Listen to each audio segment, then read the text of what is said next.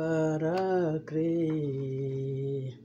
Saint-Esprit, viens, viens toucher ma vie. Je vais te louer, oh Paraclet. Saint-Esprit, viens, viens changer ma vie. Je vais te louer, oh Paraclet. Saint-Esprit, viens, viens toucher ma vie. J'ai tout laissé pour te servir, Seigneur.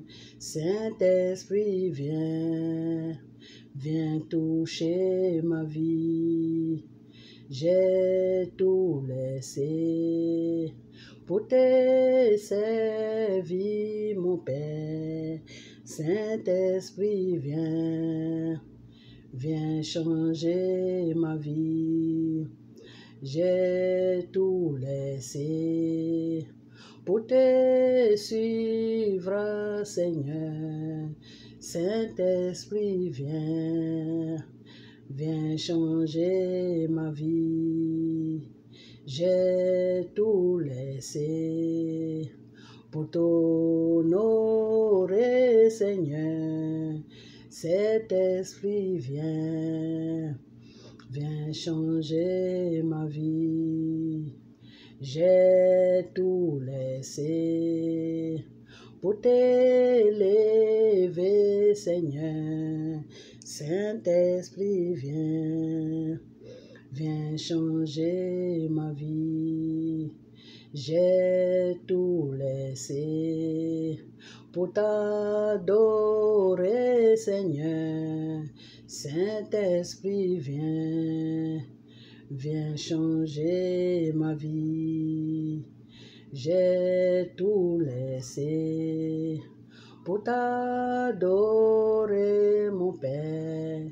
Saint-Esprit, viens, viens changer ma vie. Oui, j'ai tout laissé pour te glorifier, mon Père. Saint-Esprit, viens, viens changer ma vie. J'ai tout laissé pour t'acclamer, Seigneur. Saint-Esprit, viens, viens changer ma vie. Je veux te louer, oh Baracré. Saint-Esprit, viens, viens changer ma vie. Je vais te louer, oh Baraclé.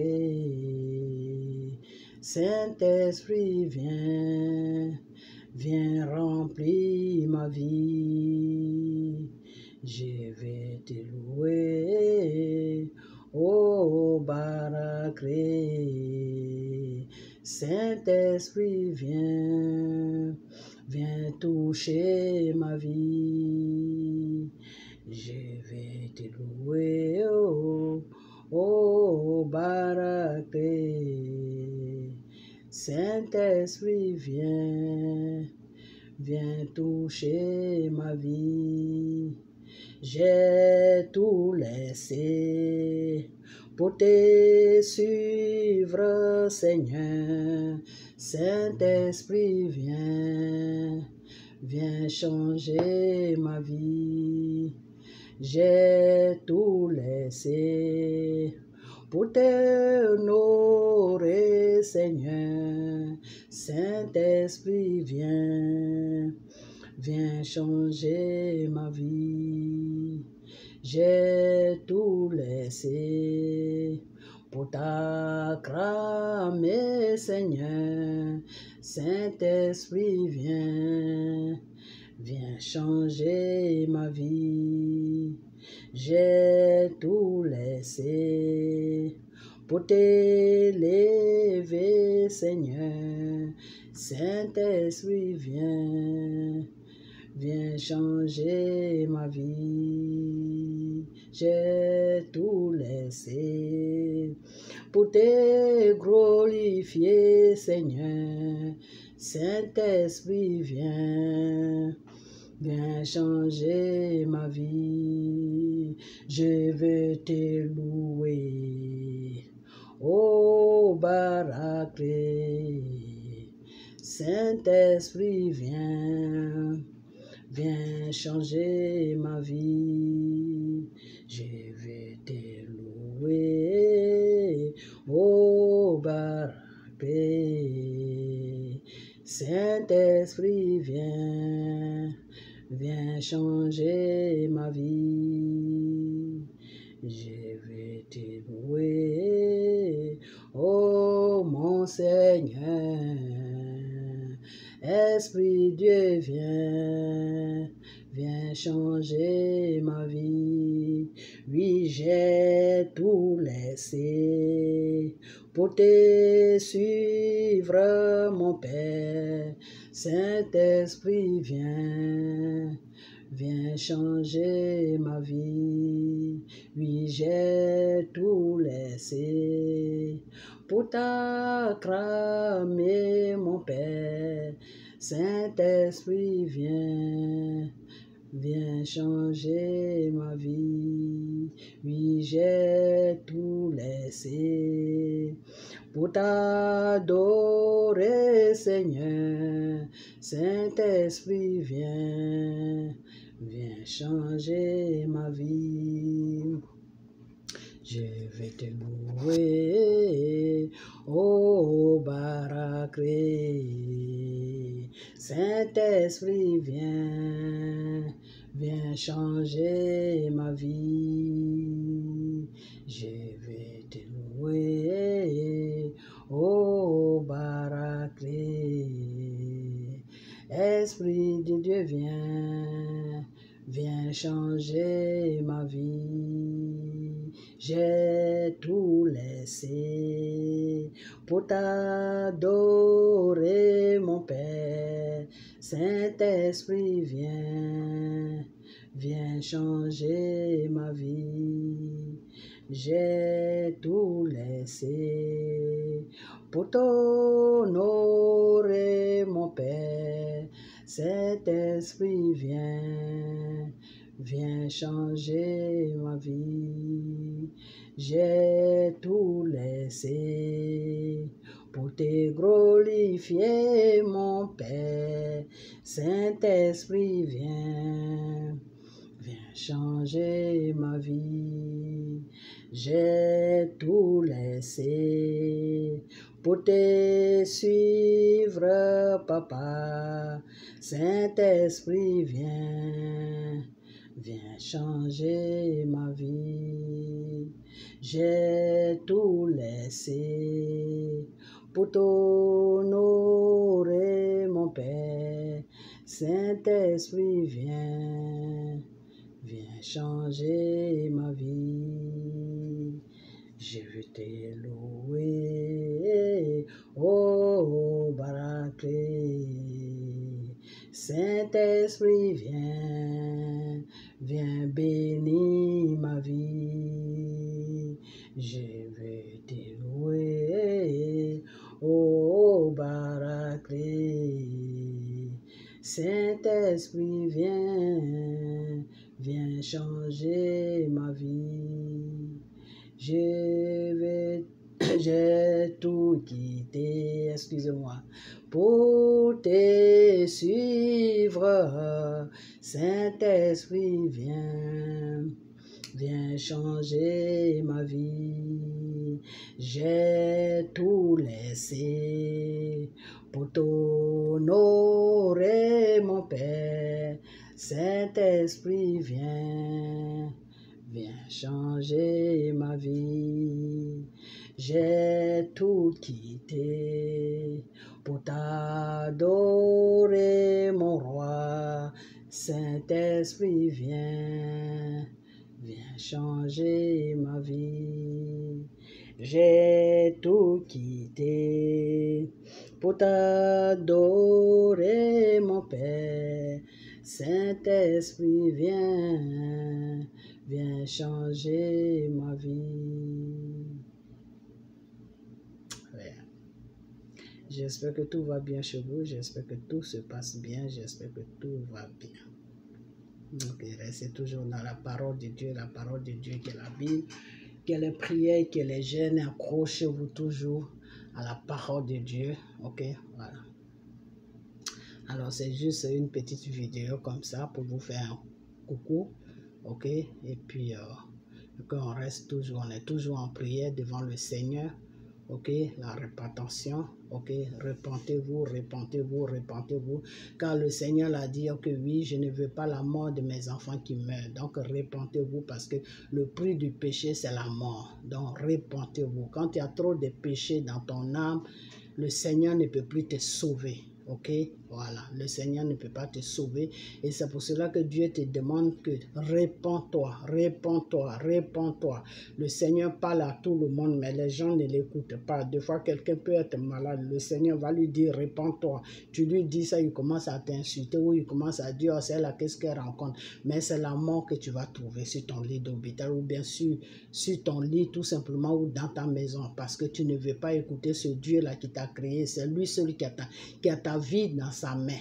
Ok, voilà. Donc, euh, cherchez le vrai Dieu et faites des repentances. Si vous savez que vous avez trop péché, nous sommes tous des pécheurs sur la terre. Ok, car le Seigneur nous a créés, on a été fait joujou avec le péché. Et quand le Seigneur nous a tourné le dos, on est longtemps resté dans le péché. Donc le péché ne peut pas nous quitter comme ça facilement. Mais chaque jour que lui, Dieu, y fait, on lutte pour que le péché se loigne de nous. Car le Seigneur aime l'être humain qu'il a créé, mais le Seigneur n'aime pas le péché. Alors quand tu es rempli de péché, ben, le Seigneur laisse ton âme tout simplement à Satan. Et quand le Seigneur laisse ton âme à Satan, mais où ça va atterrir? Mais Ça va atterrir au cimetière. Donc faites vos repentances. C'est comme quand tu es un être humain, tu es vivant, tu es, à chaque six mois ou chaque un an ou chaque deux ans, tu vas faire une visite chez le médecin pour voir si tout se passe bien. C'est comme ça que ça se passe chez le Seigneur. Ok? Tu peux attendre jusqu'à deux ans, trois ans quand tu vois que tu n'as pas fait des repentances, mais tu te présentes devant le Seigneur, tu dis, Père, je vais prendre une semaine devant toi pour, que je puisse me faire pardonner de tous mes péchés. Et une fois que tu vas dans cette direction, Satan n'a plus rien à faire dans ta vie parce que Satan sait que tu es conscient du péché et du bien. Ok? Satan se rend compte que tu es conscient du péché et du bien. Donc, quand c'est comme ça, Satan n'a plus rien à faire à côté de toi. Parce que Satan est, Satan est à côté de toi pour t'amener en enfer. Quand il sait que tu es dans l'ignorance, que même si, Quand il sait plutôt que, je ne veux pas, je vais compliquer, quand il sait que tu es dans l'ignorance, que tu ne sais pas faire la différence du péché et du bien. C'est là que Satan t'abobine, il t'abobine, il t'abobine, il t'abobine.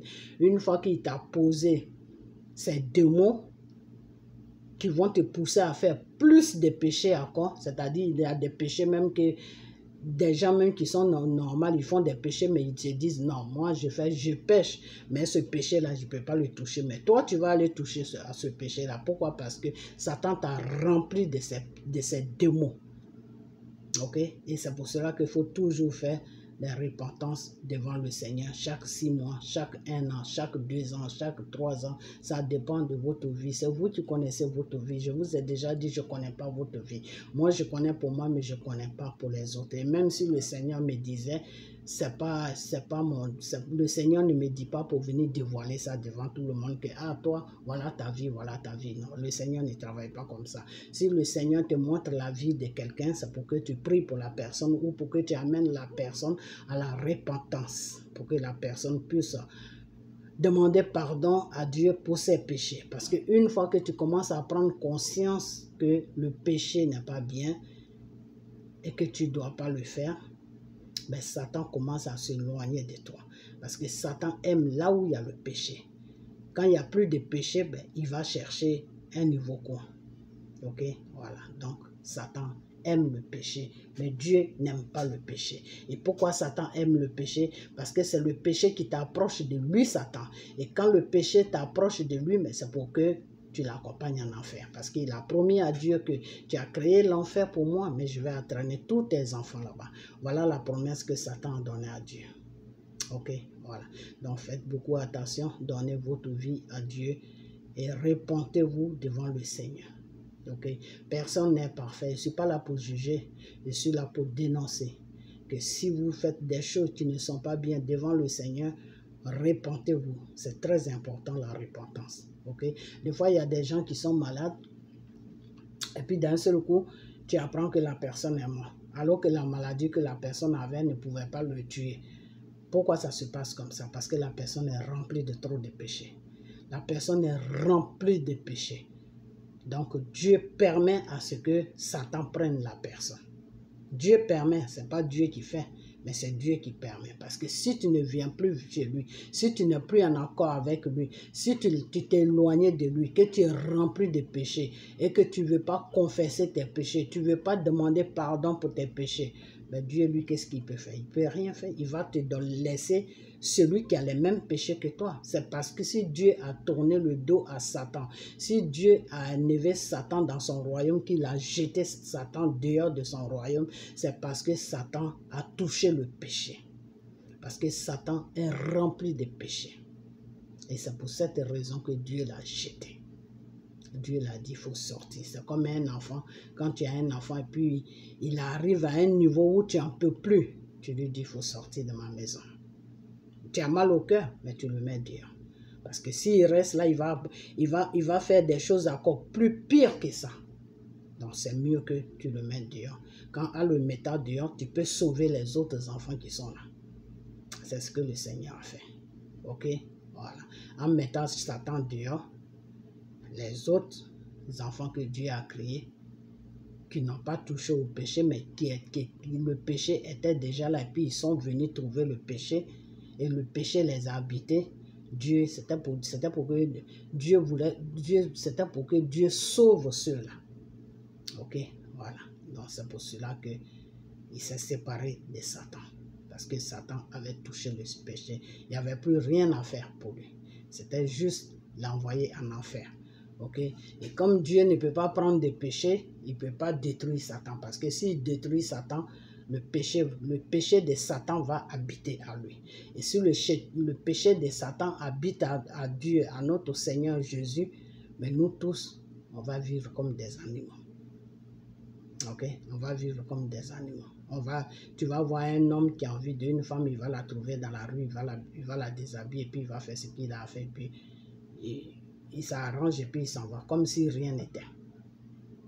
Ok, voilà. Donc c'est pour cela que c'est à cause de nous que le Seigneur n'a pas vraiment frappé Satan jusqu'à le faire disparaître. Ok, voilà. Donc, euh, répentez-vous, répentez-vous, répentez-vous et fuyez le péché. Vous devez fuir le péché parce que le péché est le prix de la mort. Je vous dis ça toujours. Ok, le péché est le prix de la mort. Ok, ça est dans la parole de Dieu. Je ne vous ai pas dit que la parole de Dieu n'est pas importante. La parole de Dieu, on doit toujours la lire. On doit toujours être, la parole de Dieu doit, doit toujours être à côté de nous. Mais Dieu, c'est pas la parole.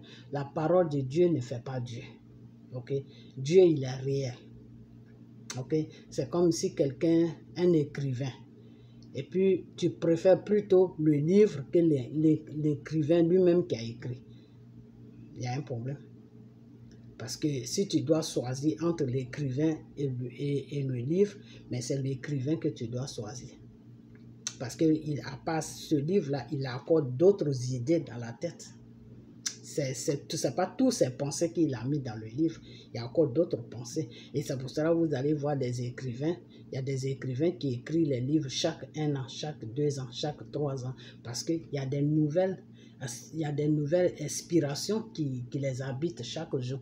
Ils ne se bloquent pas seulement sur un seul livre. C'est la même chose avec Dieu. Dieu ne s'est pas bloqué sur, la, sur sa parole qui est la Bible. Dieu est profond.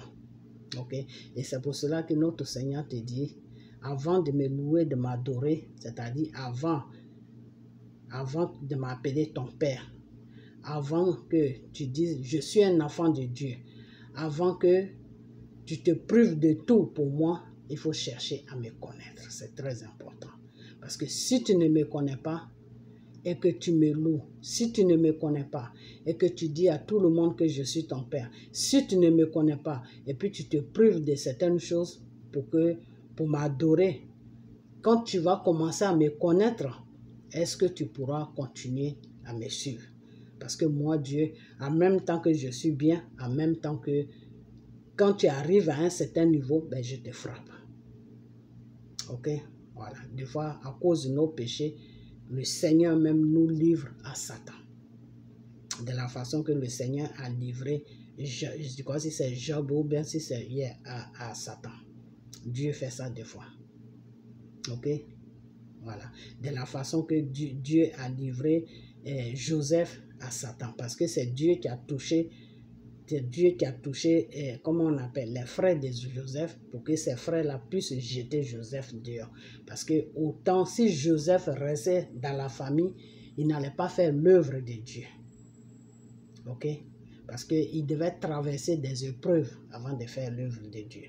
Et s'il était toujours avec son père et ses frères, il n'allait pas pouvoir faire l'œuvre de Dieu.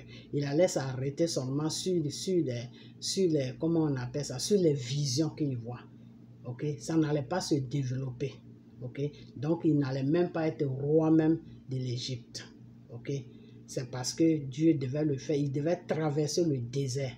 Et le désert, il fallait que ses frères puissent le vendre Ok, il fallait qu'on puisse le vendre comme une marchandise. Tout ça, c'était les œuvres, c'était l'œuvre de Dieu. Ok, mais si pour, quelqu'un qui ne sait pas, il va dire que oui, c'est ses frères même qui l'ont vendu. Non, c'est pas ses frères, c'est le Seigneur qui a permis à ce que ses frères le vendent. Ok, c'est le Seigneur qui a permis à ce que ses frères le vendent. Tout ce qui arrive à l'être humain sur la terre, c'est le Seigneur qui permet. Si le Seigneur ne permet pas, il n'y a rien qui va t'arriver. Donc, des fois, le Seigneur permet que quelque chose t'arrive pour que tu puisses agrandir dans ta foi ou pour que tu puisses agrandir dans son œuvre ou pour que tout simplement tu puisses euh, voir les choses d'une autre manière. OK Pour que toi, ou pour que des fois tu puisses euh, arranger ta vie. Parce qu'à travers de certaines souffrances, tu prends conscience de ta vie et puis tu arranges ta vie sans même que personne ne te parle. C'est pour cela que j'ai toujours dit que la vie que Dieu nous donne chaque jour est un conseil. Le temps est un conseil. Avec le temps, il y a beaucoup de personnes qui arrivent à s'arranger. Ok? Voilà. Donc le temps là, le temps que Dieu nous donne chaque jour, c'est un grand conseil. C'est pour ça que je vous ai dit, quand vous priez, demandez à Dieu la sagesse et le discernement. Parce que quand tu as les deux là, chaque jour que Dieu te donne, c'est un, un, conseil de la vie qu'il te donne. À partir de chaque jour, tu arranges ta vie. Chaque jour, tu arranges ta vie. Chaque jour, tu arranges ta vie. Tout ce qui n'est pas bien, tout ce qui ne va pas, ne correspond pas avec Dieu, tu jettes, tu jettes, tu jettes, tu jettes, tu jettes, tu jettes. C'est-à-dire ta vie, c'est comme une poubelle. Chaque jour, tu dois prendre quelque chose pour jeter. Tu dois prendre quelque chose pour jeter. Tu dois prendre quelque chose pour jeter. Tu dois prendre quelque chose pour jeter. Tu dois prendre quelque chose pour jeter. Jusqu'à ce que toi-même, tu te rends, tu vois maintenant qu'il n'y a plus rien à jeter. Et à partir de là maintenant, Dieu va dire, Dieu sera très content de toi. Parce que Dieu pour l'amour que tu as pour Dieu, tu as jeté beaucoup de choses. C'est la chanson que j'ai chantée tout à l'heure. Ok? Que je, je vais te louer, Seigneur. Seigneur, le plus grand des grands, je vais te louer. J'ai tout laissé pour te suivre. J'ai tout laissé pour ton œuvre. Faire l'œuvre de Dieu, c'est pas seulement. L'œuvre de Dieu, ça commence sur toi. Ok? Le fait que tu pries, le fait que tu gênes, le fait que tu, lis la Bible, le fait que tu parles de Dieu, le fait que tu dors avec, le, avec les pensées du, tu dors avec des pensées de Dieu, le fait que tu te réveilles avec les pensées de Dieu, c'est l'œuvre de Dieu que tu es en train de faire comme ça. Ok? Le fait que tu cherches à connaître Dieu, c'est l'œuvre de Dieu que tu fais. Ok? Voilà. Donc, c'est comme ça. Ok? Voilà. Donc, euh, restez toujours dans la, dans la détermination pour qu'on puisse euh, arriver à notre but, qui est d'aimer le Seigneur Jésus plus que nous-mêmes. C'est-à-dire, tu aimes Dieu plus que toi-même ta vie. Ok, Donc, quand Dieu te dit laisse ça, tu vas laisser ça facilement. Pourquoi? Parce que tu l'aimes tellement que tout ce qu'il va te demander de faire, tu vas le faire sans même discuter, sans réfléchir, sans rien. Quand Dieu te dit fais ça, tu fais en même temps. Tu ne cherches même pas à comprendre si c'est bon ou si c'est pas bon. Du moment que lui t'a dit de faire, toi tu dois faire. Si on arrive à ce niveau-là, ça veut dire que on atteint la haute gamme. Ok? Et c'est cette gamme-là que je veux qu'on atteigne. Parce que quand tu atteins à cette gamme-là, ce n'est plus toi qui as peur de Satan, c'est Satan qui a peur de toi. Ok? Voilà, c'est comme ça, ça se passe. Comme le Seigneur l'a dit, que vous avez une autorité. Je vous ai donné l'autorité sur les, sur les démons. Je vous ai donné l'autorité sur le mal. Mais comme vous ne connaissez pas vos droits d'enfant de Dieu, votre autorité, vous vendez ça chaque jour à Satan. Vous avez l'autorité dans votre vie et puis vous avez peur de Satan. Pourquoi?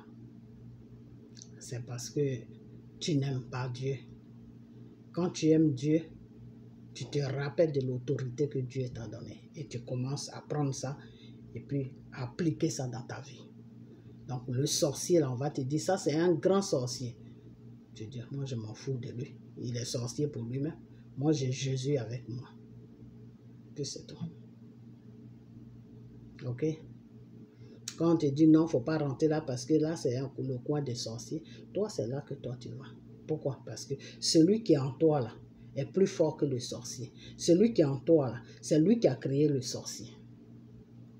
Parce que le sorcier c'est Satan. Ok, des fois j'attends les gens qui disent oui, il y, a des marabouts que Dieu a donné des dons. Non, Dieu n'a pas de donné des à un marabout. Quand tu es un marabout, tu as choisi le mal. Tu ne peux pas être un marabout et puis Dieu va être avec toi. C'est pas possible parce que la maraboutage, c'est le mal. Ok? Le Seigneur a dit, j'ai tout payé sur la croix de Golgotha. Donc tu n'as plus le droit d'aller voir un être humain qui est comme toi pour qu'il te lit ton avenir. Parce que lui-même, il ne connaît pas son avenir. Mais pourquoi? Comment ça se fait qu'il connaît ton avenir? Mais Parce que c'est Satan qui lui rencontre des bêtises. Et dans ce que les bêtises que Satan lui rencontre, il y a des vrais et il y a des mensonges. Tout est ménagé. Ok? Voilà. Donc, le Seigneur Jésus dit, j'ai payé le prix pour vous. Vous n'avez plus de sacrifices à faire. Vous ne devez plus croire à quelqu'un de la magie, tout ça, vous ne devez plus croire à ça.